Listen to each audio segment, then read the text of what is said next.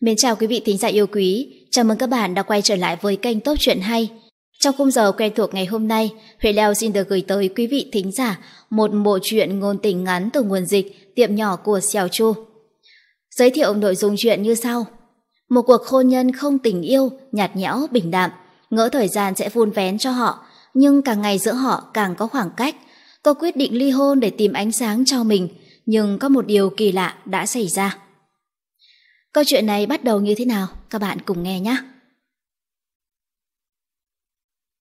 Tôi và Thẩm Đình quen biết nhau trong một buổi xem mắt. Hai chúng tôi đều đã 30 tuổi, không còn nhỏ nữa. Người trong nhà dục rất gắt. Chúng tôi gặp nhau ba lần, liền tính chuyện kết hôn. Hôn nhân không có nền tảng tình cảm, tôi cũng không trông mong có thể hòa thuận. Chỉ nghĩ Thẩm Đình là giáo sư đại học, tổ chức các mặt đều không tệ. Cứ tôn trọng nhau thì cuộc sống chắc cũng được nhưng không ngờ tính cách của anh thật sự quá lạnh lùng. Bản thân tôi cũng là người lạnh nhạt hướng nội, ở cạnh anh giống như hai núi băng vậy, một ngày nói không quá 10 câu. Bản thân hứa Vi Vi tới nhà tôi chơi, nhìn cách vợ chồng chúng tôi ở chung với nhau, liền thở dài. Giáo sư thẩm nhà cậu ngồi một mình ở phòng khách, chúng ta lại trốn trong phòng sách, tớ có thấy ngại ngại sao ấy, hay là chúng ta ra phòng khách nói chuyện đi. Tôi giật mình, không cần đâu, tớ không quen ở chung với anh ấy. Hứa Vi Vi còn giật mình hơn.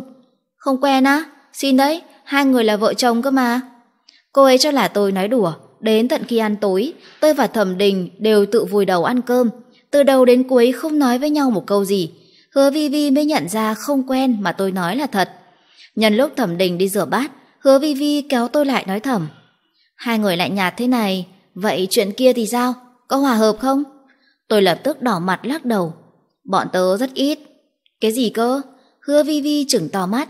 Hai người mới kết hôn nửa năm, đang nghe phải gắn bó keo sơn, củi khô cháy hừng hực chứ. Tôi quay đầu nhìn về phía phòng bếp, ho khan vài tiếng, ý bảo cô ấy đừng nói thêm. Hứa Vi Vi phối hợp hạ giọng, dùng giọng khí nói thì thầm. Là giáo sư thẩm không được hả? Đưa đến bệnh viện khám xem, tớ biết một bác sĩ nam khoa. Tôi xấu hổ đưa tay che miệng quấy lại. Chị hai im dùng đi. Hứa Vi Vi yêu một anh bạn trai qua mạng, hình như là lính nhảy dù đặc trùng của Pháp. Sau khi hai người tìm hiểu nhau thì tình cảm rất tốt, tôi nghe cũng cảm thấy rất hâm mộ. Tình yêu là thứ mình chỉ có thể gặp mà không thể cầu đó, vô cùng xa xỉ. Thẩm Đình là một con mọt rách, công việc của tôi cũng bận rộn, từ nhỏ chúng tôi đã là con người, con người ta trong miệng của các ông bố bà mẹ rồi. Học giỏi, ngoan ngoãn nghe lời, không yêu sớm cũng chưa từng có thời kỳ phản nghịch. Nhưng người lớn đúng là vô lý, ưu điểm không biết yêu mà trước kia họ luôn tự hào, đến khi tôi tốt nghiệp đại học rồi lại trở thành khuyết điểm lớn nhất của tôi. Thế là tôi bị bắt đi xem mắt, từng bước từng bước rồi kết hôn, thoát cài đã qua nửa năm, tôi vẫn không biết làm thế nào để sống chung với Thẩm Đình. Sau khi hứa Vi Vi rời đi, tôi và Thẩm Đình đều trở về phòng của mình. Đúng vậy, kết hôn chưa được nửa năm, chúng tôi đã chia phòng ngủ rồi. Thẩm Đình Đình làm việc và nghỉ ngơi rất có quy luật, mỗi đêm đúng 11 giờ đi ngủ, 7 giờ sáng rời giường, tôi nghĩ anh hoàn toàn khác nhau. Tôi làm việc cho một công ty đầu tư lớn, phụ trách nghiệp vụ ở nước ngoài, bởi vì tranh lệch múi giờ nên buổi tối thường xuyên phải thức khuya. Thẩm Đình ngủ không sâu, tôi ở cạnh xem máy tính có thể nghe thấy tiếng Anh chở mình liên tục. Hôm sau mang hai quần thâm mắt đi làm. Tôi rất xấu hổ, vài ngày sau liền đưa ra yêu cầu chia phòng. Đến giờ tôi vẫn nhớ, sau khi tôi nói xong, Thẩm Đình thở phao nhẹ nhõm, rõ ràng thoải mái hơn rất nhiều. Không có ở chung phòng, cơ hội trao đổi giữa hai chúng tôi càng ít hơn, dần dần trở thành tình trạng như bây giờ. Tôi cứ cho rằng có thể sống tiếp tục cuộc sống như vậy, nhưng nhìn bộ dạng hạnh phúc của hứa Vi Vi khi nhắc đến bạn trai, trong lòng tôi lại có chút hâm mộ. Cả đời không yêu lần nào, có phải quá tiếc nuối không? Tôi nằm trên giường, ngẩn ngơ nhìn chăm chăm trần nhà đen kịt, không biết ngủ thiếp đi từ khi nào. Hôm sau tỉnh lại, trong đầu tôi bỗng có thêm một giọng nói. Nói cái gì mà hệ thống, chỉ cần tôi có thể khiến thẩm đình động lòng một lần, sẽ thưởng cho tôi 10 vạn. Rất vô lý, nhưng cảm giác chân thật trong đầu lại không giống giả. Thu nhập của tôi không tệ, nhưng công việc này thực sự quá vất vả, ngày đêm đảo ngược. Nếu lớn tuổi hơn một chút nữa sẽ không chịu nổi. Tôi muốn đổi sang một công việc khác nhẹ nhàng hơn, còn tiền thì đương nhiên càng nhiều càng tốt. Thế là tôi rời giường rửa mặt rồi ra phòng khách. Thẩm Đình đã dậy, đang ngồi trên sofa đọc sách. Hôm nay không đi làm sao? Thẩm Đình không ngẩng đầu, lật một trang sách nữa. Hôm nay là thứ bảy.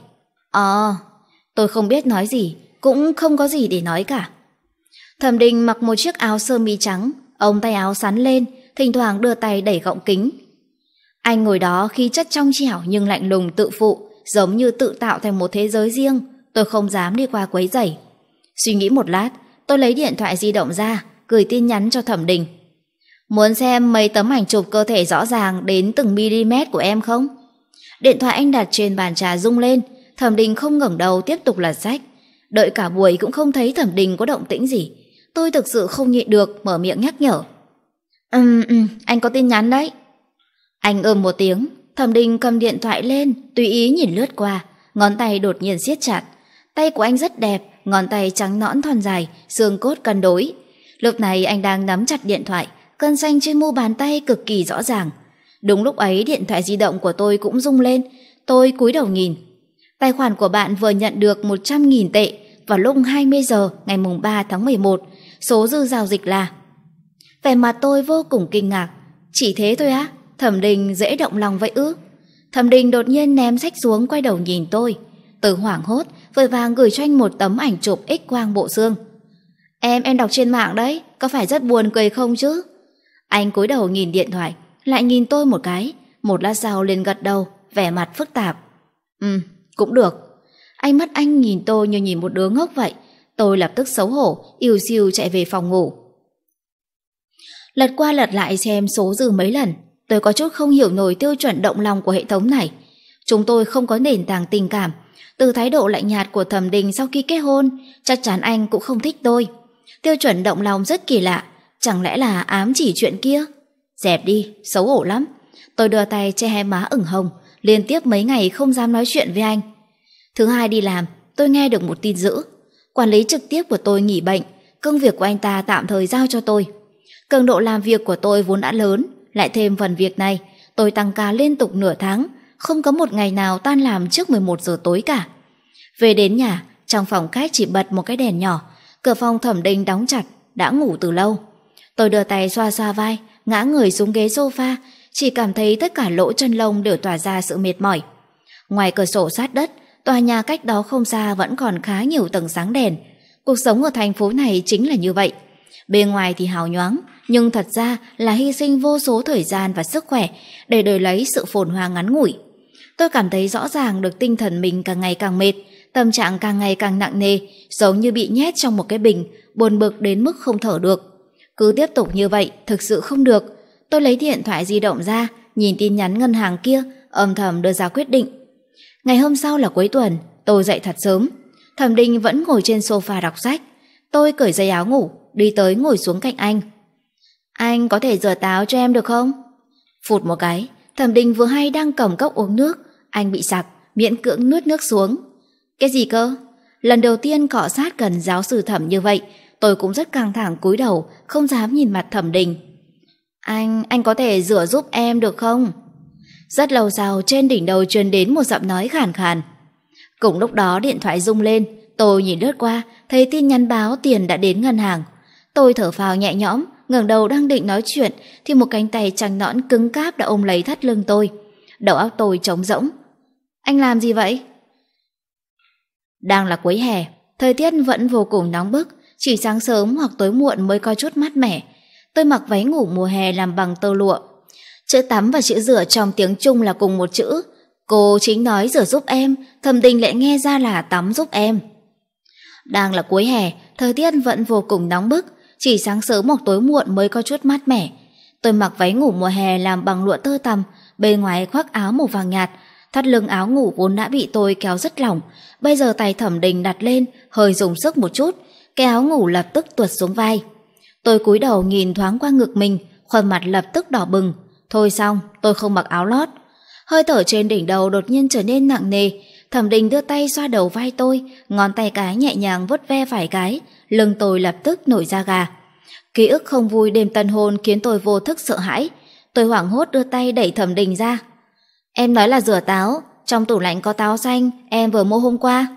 Thôi vậy, để em tự đi rửa. Tôi kéo áo ngủ lên, tóm chặt cô áo rồi chạy mất dép. Đứng trong bếp, lúc mở vòi nước, bắp chân tôi vẫn đang vô thức run rẩy. Tôi hít sâu một hơi, đặt tay dưới vòi nước sạch, tâm trạng mới từ từ bình tĩnh. Rửa sạch táo xanh bỏ vào trong khay thủy tinh, tôi lại mở điện thoại di động ra, nghiêm túc xem lại tin nhắn, khóe miệng cong lên. Tự nhiên kiếm tiền dễ thế nhỉ? Thẩm Đình không phải một người ham muốn cao, ngoài cái đêm tân hôn anh uống rượu say ra, chúng tôi chưa từng yêu ai, đều không có kinh nghiệm. Đêm đó anh mạnh mẽ cho vào, khiến cả hai chúng tôi đều gặp nạn. Tôi vô cùng sợ đau, Thẩm Đình cũng không tốt hơn là bao. Kể từ ngày đó, chúng tôi vô cùng ăn ý không nhắc đến chuyện đó nữa. Cho nên thỉnh thoảng tôi nói bừa một chút, cũng rất an toàn.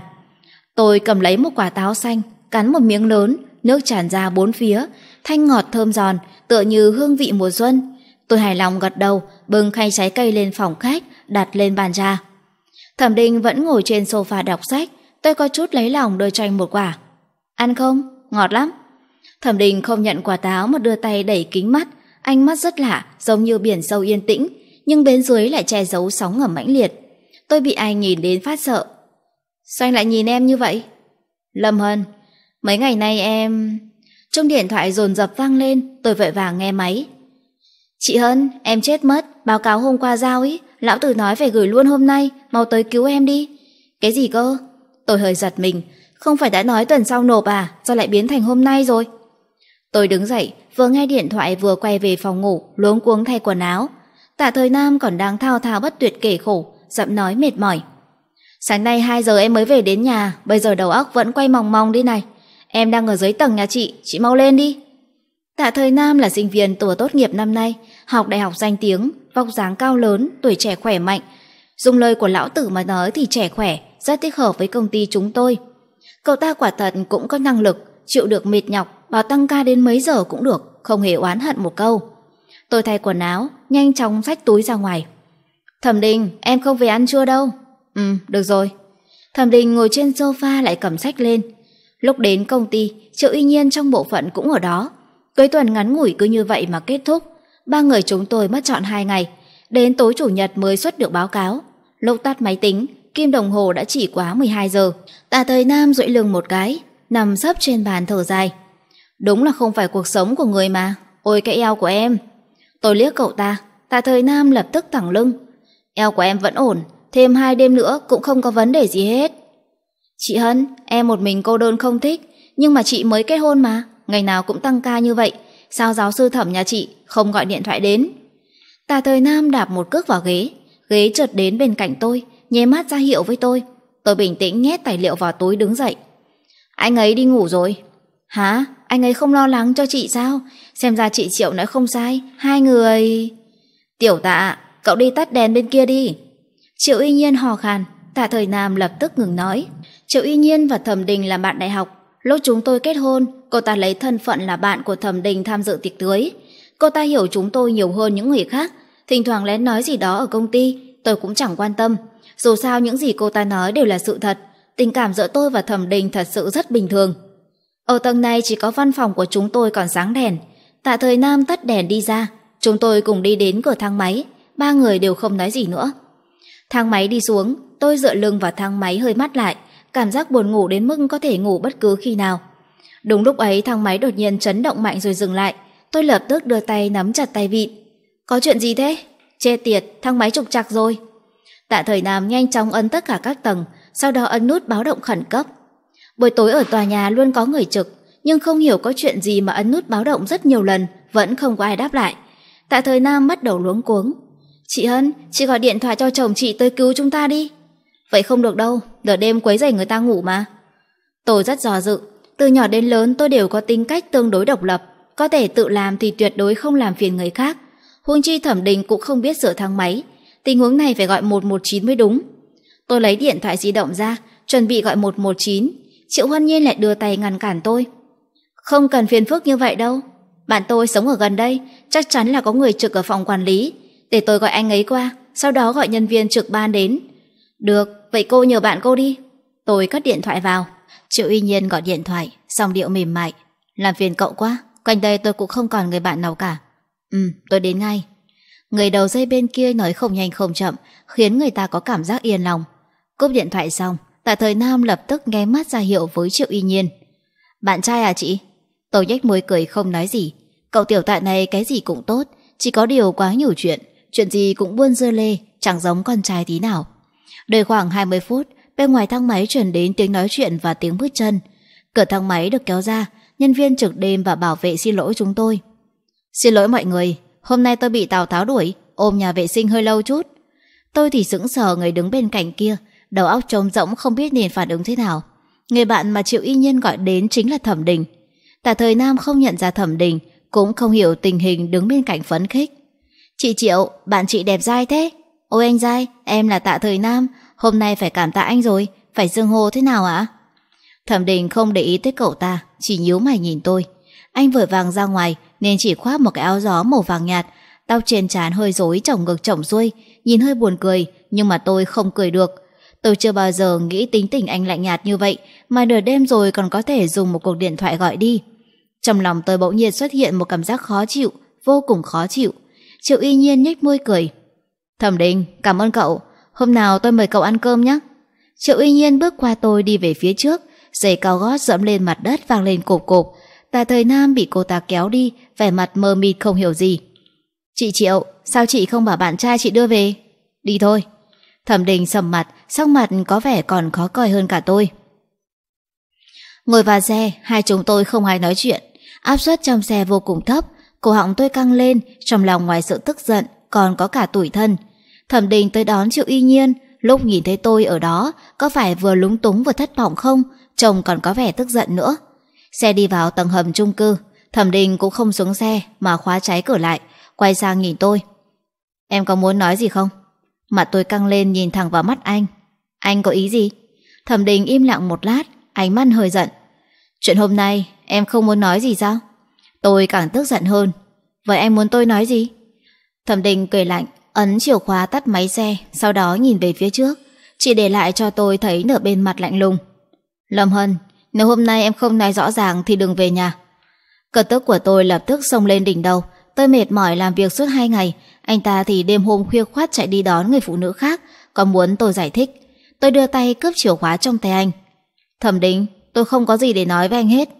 Bình thường tôi rất ít kỳ tức giận, cũng sẽ không cãi nhau với người khác, nhưng hôm nay tôi thực sự rất mệt. Thẩm Đình lại vô lý như thế, không hề giống tên khốn bình thường toàn tỏ ra quân tử. Tôi muốn cướp chìa khóa, anh lại giơ tay lên cao. Tôi kéo tay anh, Thẩm Đình lại nghiêng người đè tôi lên ghế, sau đó giữ hai tay tôi trên đỉnh đầu, chỉ dùng một tay đã có thể dễ dàng khống chế tôi. Anh không buông ra là tôi giận đấy. Tôi nghiến răng nghiến lợi trừng mắt nhìn Thẩm Đình, lồng ngực phập phồng, hoàn toàn mất lý trí. Đúng lúc ấy điện thoại tinh một tiếng, tiếng thông báo máy móc của hệ thống cũng vang lên trong đầu. Tôi nhìn Thẩm Đình, tất cả tức giận hóa thành mờ mịt. Tại sao lúc này lại được thưởng 10 vạn nữa vậy? Một giây sau, Thẩm Đình cúi người áp sát. Thẩm Đình hôn tôi, chúng tôi rất ít khi có những cử chỉ thân mật như vậy. Tôi ngẩn ra, không biết nên phản ứng lại thế nào. Không gian trong xe chật trội, cửa sổ đóng kín. Tôi cảm giác đầu óc mình bắt đầu thiếu oxy. Không suy nghĩ được gì nữa. Lúc đầu còn phản kháng, tiếp theo đó lại vô thức phối hợp với động tác của anh. Rất nhanh trên cửa sổ xe bắt đầu có một lớp hơi nước, sương mù dày hơn, dần ngưng lại thành những giọt nước nhỏ bám lên cửa. Đau không?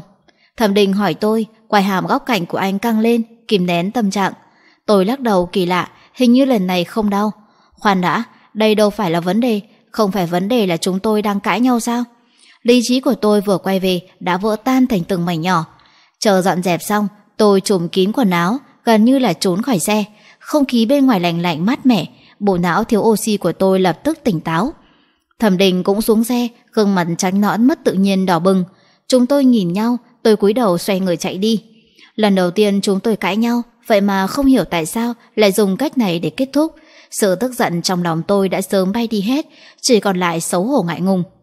Về đến nhà tôi trốn vào phòng ngủ chính, hôm sau lại cố ý lề mề đề mà. Nghe tiếng thẩm đình đóng cửa phòng khách rồi rời đi, tôi mới thở phào cẩn thận mở cửa phòng ló đầu ra. Trên bàn là bữa sáng thẩm đình làm cho tôi, có sandwich, trứng chiên và một cốc sữa tươi. Anh đi làm sớm hơn tôi, khi nào cũng sẽ để lại cho tôi một phần ăn sáng.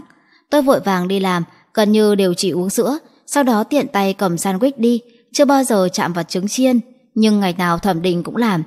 Đánh răng xong, ngồi vào bàn ăn, nhìn chằm chằm quả trứng chiên kia, bỗng nhiên cảm thấy mình chẳng hiểu thẩm đình chút nào cả. Lúc tôi và thẩm đình kết hôn, Triệu uy Nhiên có tham gia hôn lễ, gửi rất nhiều tiền mừng cưới. Lúc đó tôi cũng rất bất ngờ.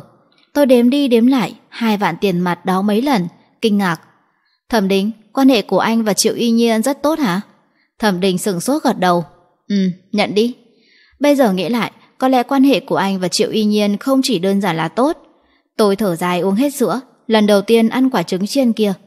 Lúc lái xe đến công ty, Triệu Y Nhiên đã ngồi ở bàn làm việc rồi. Hôm nay cô ta mặc một cái váy màu đen, đeo khuyên tài vàng bản to, gương mặt Triệu Y Nhiên xinh đẹp sáng rủa, tóc ngắn tinh tế, giỏi giang tháo vát. Tiểu tạ cầm túi sữa đậu nành, áp sát Triệu Y Nhiên nói chuyện phiếm. Chị Triệu, ngày nào chị cũng ăn sandwich mà không ngán ư? Triệu Y Nhiên nhếch miệng cười, giơ sandwich trong tay lên. Cậu thì biết cái gì, đây là bữa sáng yêu thích của tôi. Ăn bao nhiêu năm rồi, không có bỏ được. Tiểu tạ vỗ tay một cái. Em biết rồi, bạn trai chị làm đúng không? Tim tôi đập hững một nhịp, nhìn sandwich trong tay cô ta. Triệu Y Nhiên cũng nhìn thấy tôi, vậy vẫy tay, sắc mặt vô cùng tự nhiên. Lâm Hân tới rồi. Cô già tất tự nhiên ăn điểm tâm, vẻ mặt như thường nói chuyện với tôi, thảo luận phương án làm cuối tuần này. Dường như tối qua chẳng có chuyện gì xảy ra. Nếu như bạn không xấu hổ, thì người khác sẽ phải xấu hổ thay bạn. Lần đầu tiên tôi cảm nhận được ý nghĩa của câu nói ấy trên người của Triệu Y Nhiên. Lòng tôi kìm nén một ngọn lửa giận, không có chỗ chút. Tôi về đến nhà vẫn là qua 12 giờ đêm, cả ngày nay tôi và Thẩm Đình không nói với nhau câu gì. Hôm sau đi làm, tôi không hề chạm vào bữa sáng mà Thẩm Đình làm. Hiệu suất làm việc ở công ty rất cao, sáng sớm thứ hai vừa gửi báo cáo, hôm sau đã có người trả lời. Tiểu tạ hưng phấn gào khóc, làm loạn cả phòng làm việc. Khách hàng lớn duyệt phương án đó rồi, mục tiêu quý đã được hoàn thành, lão tử còn cho chúng ta đi team building nữa. Thế thì có gì mà vui, tôi cúi đầu tiếp tục sắp xếp tài liệu, cũng không ngẩng đầu lên. Tiểu tạ chạy đến cạnh tôi, bộp một tiếng, đập tờ giấy trong tay tôi xuống bàn. Chị Hân, chị không biết cái này sao? Lão tử nói, lần này đi chỉ để vui vẻ thôi, chúng ta đi Bali, chị có thể mang người nhà theo nữa. Triệu uy nhiên liếc nhìn tôi. Lâm Hân, cô có mang theo người nhà không? Tôi sửng sốt, đang định nói thẩm đình sẽ không đi, lại bị câu tiếp theo của Triệu uy nhiên chặn họng. Nếu cô không mang thì tôi mang. Hình như cô ta đang nhướng mày thị uy với tôi, tôi giận đến mức tức ngực. Cô ta có ý gì? Tôi không mang thì cô ta mang, đang ám chỉ thẩm đình hả? Sao thẩm đình có thể đi cùng cô ta được?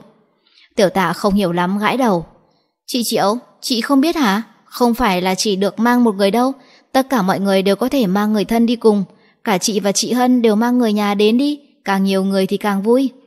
Triệu y nhiên cười cười. Tôi biết chứ, nhưng mà tôi và cô ta chỉ có thể mang theo một người thôi.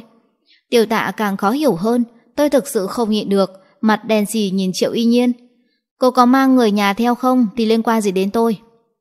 Tôi không thể mắng người ta chỉ vì suy đoán của mình được. Hơn nữa lúc làm việc, tôi cũng không muốn xử lý chuyện cá nhân ở đây. Tiếp đó tôi không thèm để ý đến Triệu Y Nhiên cả ngày. Đến chiều Triệu Y Nhiên gọi điện thoại ngay trước mặt tôi. Tuần này có rảnh không? Thứ tư bắt đầu đi, từ ngày 15 đến ngày 19, 5 ngày. Xin nghỉ phép đi với tôi đi, bao ăn bao ở. Được, quyết định như vậy nhé, để tôi chuẩn bị đồ. Cúp điện thoại xong, Triệu Y Nhiên giơ điện thoại lên nói với tôi. Được rồi, tan làm thôi. Tôi rất tức giận, nhưng cũng chưa mất lý trí. Thẩm Đình là người có gia đình, không thể đồng ý đi du lịch với người khác được. Phương án mới đã được chấp nhận. Hôm nay công ty hiếm khi được tan làm đúng giờ. Lúc tôi lái xe về nhà, Thẩm Đình đang ngồi đọc sách trên ghế sofa. Ánh hoàng hồn vẫn chưa tàn, tia sáng màu cam ấm áp chiếu vào từ cửa sổ phía tây, hát lên người anh. Thẩm Đình mặc một chiếc áo bông màu trắng, lọn tóc rủ xuống trước chán, trong sự lạnh lùng lại có chút đáng yêu, không hề xa cách như thường ngày. Tôi hay tan làm về muộn, bình thường Thẩm Đình đều ăn cơm trong căng tin trường học xong mới về. Thấy tôi không nói gì, anh vén tay áo lên, để sách xuống, tự giác đi vào bếp nấu cơm cho tôi. Tôi lắc đầu, em ăn ở ngoài rồi. Thật ra là ăn tức no rồi, không muốn ăn cơm anh nấu. Ừ, vậy ăn chút trái cây đi. Thẩm Đình đẩy đĩa táo xanh qua. Vừa hay anh có chuyện muốn nói với em, cuối tuần này anh phải đi công tác một chuyến. Tôi đứng ở cửa vừa thay dép xong, không dám tin vào tai mình. Anh đồng ý nghỉ phép đi chơi với Triệu Y Nhiên à? Chúng tôi là đồng nghiệp đấy, chẳng lẽ anh không hề suy nghĩ đến cảm nhận của tôi? Rốt cuộc trong mắt anh tôi là cái gì chứ? Tôi vô cùng thất vọng, ngơ ngác nhìn Thẩm Đình, không nói được câu gì. Thẩm Đình thấy tôi đứng bất động thì hơi kinh ngạc bước tới, đưa tay sờ mặt. Cảm thấy không khỏe sao? Đừng động vào em. Tôi lập tức quay đầu đi, có chút chán ghét tránh né bàn tay anh, tránh né sự đụng chạm của anh. Thẩm Đình sửng sốt, môi lập tức mím lại. Tôi tức giận nhìn sang chỗ khác. Em hơi mệt, em đi ngủ trước đây. Quan hệ giữa tôi và Thẩm Đình lại rơi vào bế tắc. Hai chúng tôi vốn đã không nói được với nhau mấy câu. Giờ tôi cố ý tránh mặt, quan hệ giữa chúng tôi lại càng lạnh nhạt hơn. Bản thân hứa Vi Vi gọi điện cho tôi, giọng điệu hưng phấn. Hân hân, bạn trai tớ về rồi, tớ dẫn anh ấy đến gặp cậu, cậu dẫn giáo sư thẩm nhà cậu theo nhé. Tôi buồn bã thở dài. Đừng nói nữa, bọn tớ đang chiến tranh lạnh. Vi Vi, tớ cảm thấy bản thân thất bại quá. Tôi kể lại chuyện thẩm đình và triệu y nhiên. Nhất định là trước đây họ từng ở bên nhau. Bố mẹ thẩm đình còn nói là anh ta chưa từng yêu ai nữa chứ. Chúng ta bị lừa rồi. Hứa Vi Vi tức giận kêu loạn, mắng triệu y nhiên một trận, sau đó an ủi tôi. Giáo sư thẩm trông cũng chính trực mà, chắc không phải loại người đó đâu, có phải hai người hiểu lầm nhau không? Có thể hiểu lầm gì chứ, tôi cũng không dám nói chuyện đi công tác kia với hứa Vi Vi. Cuối tuần là lên đường đi du lịch rồi, mấy ngày nay công ty lại trở lại trạng thái bận rộn như trước. Hôm nay lúc tôi tan làm về, đến nhà lại là 12 giờ đêm. Giày cao gót gõ cộp cộp trên mặt đất, tôi ngẩng đầu nhìn bãi đỗ xe trống rỗng dưới mặt đất, kéo kín áo khoác trên người. Vừa vào thu, trời lạnh nhanh quá. Sau khi về phòng tôi tẩy trang, xả đầy nước bồn tắm. Tôi ngâm mình trong làn nước ấm, hơi nước dày đặc bốc lên, sự mệt mỏi như hòa vào dòng nước. Mỗi bỗng thấy cay cay. Hứa Vi Vi nói đúng, hôn nhân không có tình yêu, cuối cùng chắc chắn sẽ tàn rã. Người muốn cưới trước yêu sau, từ từ bồi dưỡng tình cảm, chỉ có mình tôi mà thôi. vảy man tôi đỏ lên, vốc nước lên mặt. Đến lúc mở mắt ra, nhà vệ sinh đã tối đen. Tôi có chút sợ hãi, do dự một lát, tôi thử thăm dò gọi tên Thẩm Đình. Thẩm Đình. Gọi xong tôi lại đột nhiên cảm thấy ngu ngốc. Giờ này anh đã ngủ say rồi, sao biết được trong nhà mất điện chứ? Không ngờ cửa nhà vệ sinh lại mở. Thẩm Đình cầm một ngọn nến đi đến, ánh sáng ấm áp xua tan bóng tối. Anh đặt ngọn nến cạnh bồn tắm, ngồi xuống dựa vào vách tường. Bên ngoài cúp điện rồi. Tôi mất tự nhiên cong lưng. Ừ, vậy anh ra ngoài trước đi, em ngâm bồn thêm một lúc nữa rồi ra. Vậy mà thẩm đình vẫn ngồi bất động, nương theo ánh mắt của anh nhìn xuống, mà tôi lập tức đỏ bừng. Một giây sau điện thoại di động đặt bên cạnh lập tức vang lên tiếng chuông quen thuộc. Anh ra ngoài trước đi. Lâm Hân, anh hỏi em đáp. Tay thẩm đình bỗng luôn vào trong nước, nắm lấy cổ tay của tôi.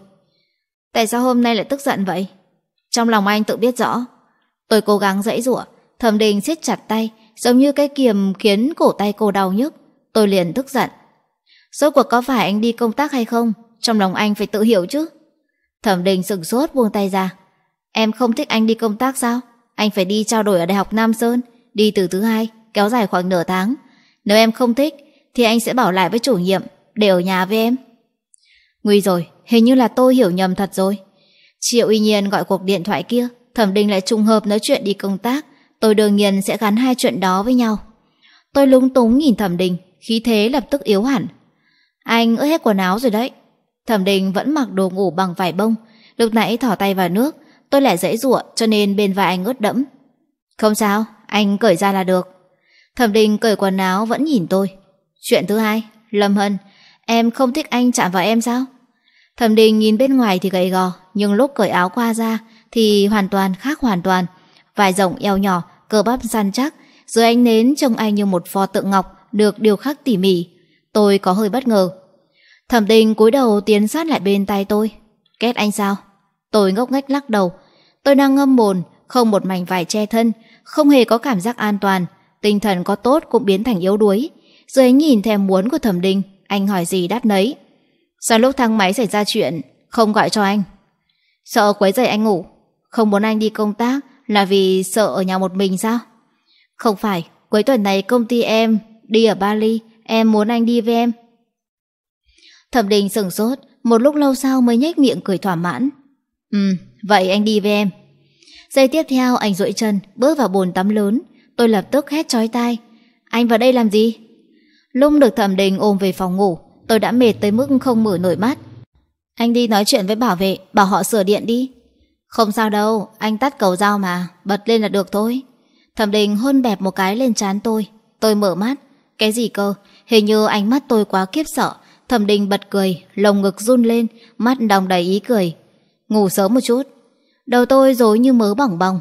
Tại sao mỗi lần tôi và thẩm đình cãi nhau đều kết thúc bằng chuyện này vậy? Hôm sau lúc tôi tỉnh lại, thẩm đình đã đi làm rồi. Tôi sốc chăn, nhìn vết lõm bên cạnh. Bây giờ mới nhớ ra hôm qua thẩm đình ngủ lại phòng tôi. Tôi ôm chăn ngẩn ngơ một lúc, sau đó đứng dậy mặc quần áo xuống giường. Trên cổ có một dấu hôn rất rõ, dùng kem che khuyết điểm cũng không che được. Suy nghĩ một lát, Tôi lấy băng dán cá nhân dán lên. Vừa đến công ty tiểu tạ đã lập tức phát hiện. Chị Hân, cổ chị bị sao thế? À, côn trùng cắn.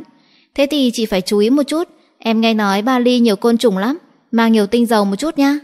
Ồ, được rồi. Sao ngày nào cậu cũng nói được thế nhỉ? Nếu rảnh quá thì mau làm xong cái báo cáo kia đi. Triệu uy nhiên bỗng nhiên nổi cáo.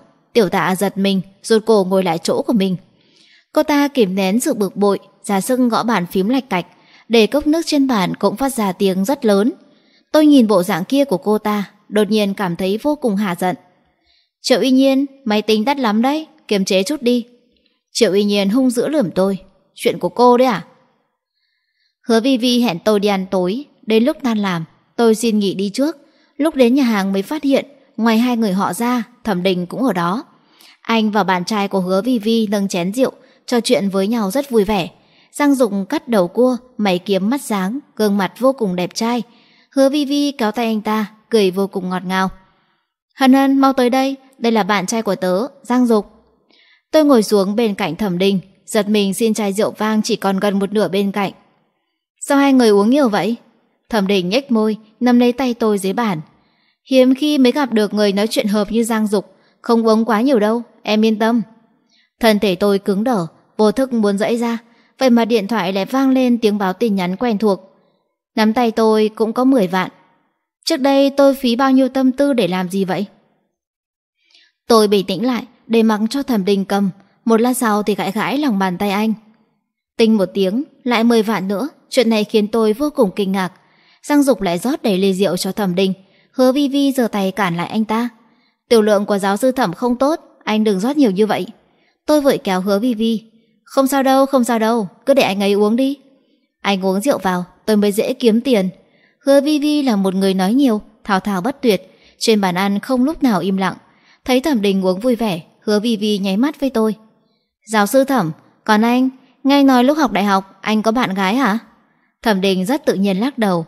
Không có, Lâm Hân là mối tình đầu của tôi. Còn biết lừa người khác nữa, xem ra vẫn chưa uống đủ nhiều rồi. Tôi đặt chân lên mu bàn chân của thẩm đình, đạp mạnh một cái. Hệ thống khen thưởng 10 vạn, tôi trợn mắt, vậy cũng được sao? Hứa Vi Vi cũng uống một chút rượu, nói đến chuyện của cô ấy và Giang Dục, lập tức cảm thán nắm tay tôi. Yêu đương với người nước ngoài thật sự khó lắm, chỉ một hiểu lầm nhỏ thôi, đi qua mấy nghìn km đã biến thành một vấn đề rất lớn không thể giải quyết được rồi. Vậy nên yêu nhau thì phải nói cho nhau hiểu, không thể câm như hến bắt người ta đoán ý mình được.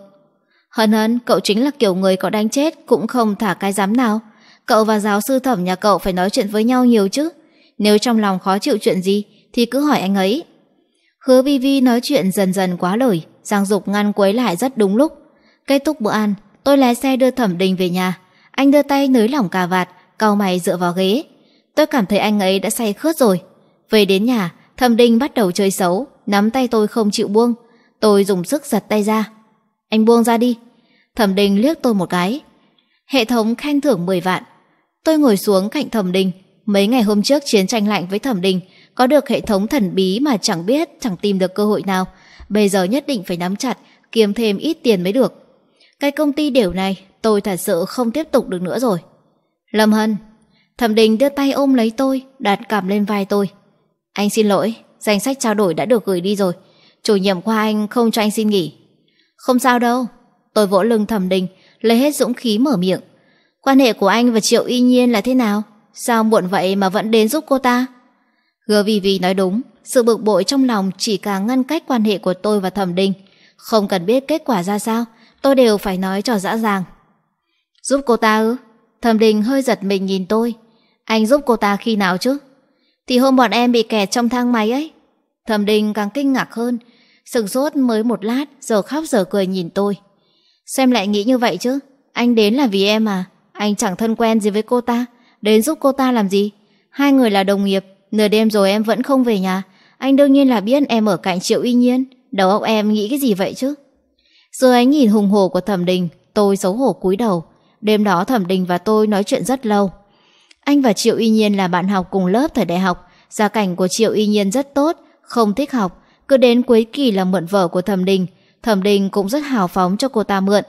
Vậy nên số tiền mừng cưới kia, anh cho rằng đó là sự cảm kích của Triệu Y Nhiên vì đã cho cô ta mượn vợ suốt 4 năm đại học.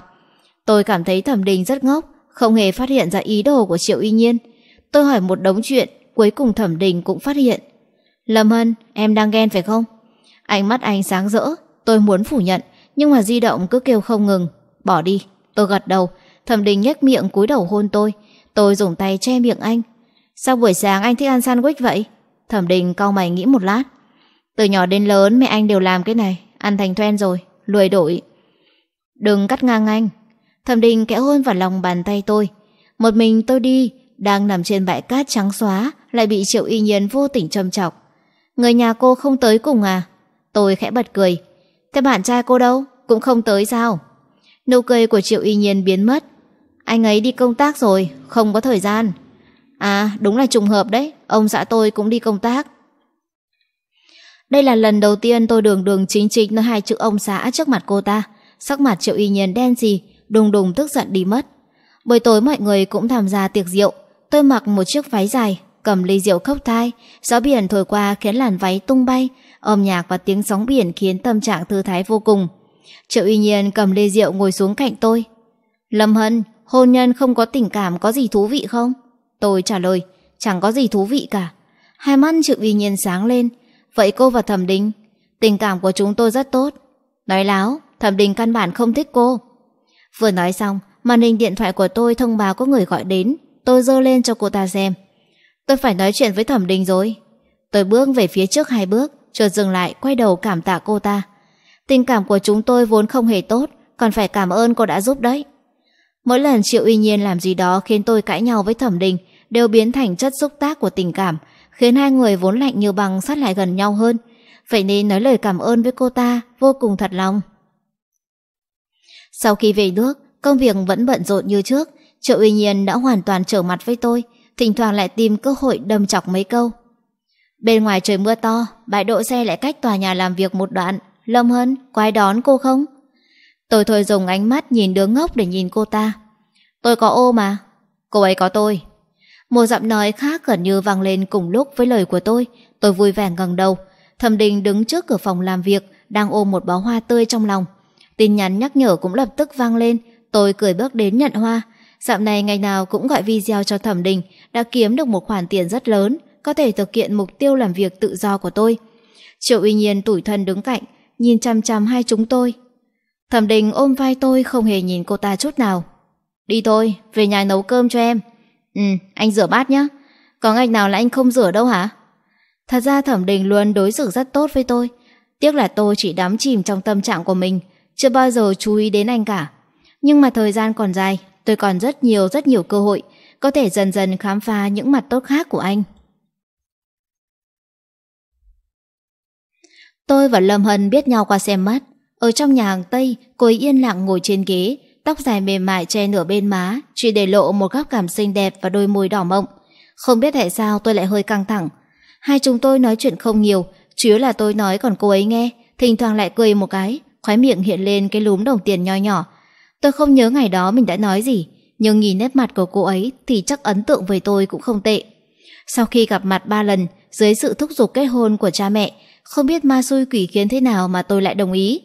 Hôm kết hôn, cô ấy mặc váy lụa trắng xinh đẹp tuyệt trần. Sự kiềm chế của tôi mà tôi luôn lấy làm kiêu ngạo lập tức vỡ tan. Cô ấy cực kỳ xinh đẹp, da trắng nõn, chỉ hơi dùng sức là bị tím. Tôi không kiềm chế nổi, khiến cô ấy sợ hãi, cũng khiến bản thân mình hối hận. Cô ấy lạnh lùng nói chuyện với tôi, tôi cũng trột dạ không dám ý kiến gì. Ban ngày còn được, công việc của cô ấy bận rộn nên chúng tôi gặp nhau không nhiều. Nhưng tối đến nằm trên cùng một chiếc giường, xung quanh toàn là mùi hương mát mẻ của cô ấy. Tôi cứ lật qua lật lại không sao ngủ được. Lâm Hân gặp máy tính lại, anh ấy nhìn tôi.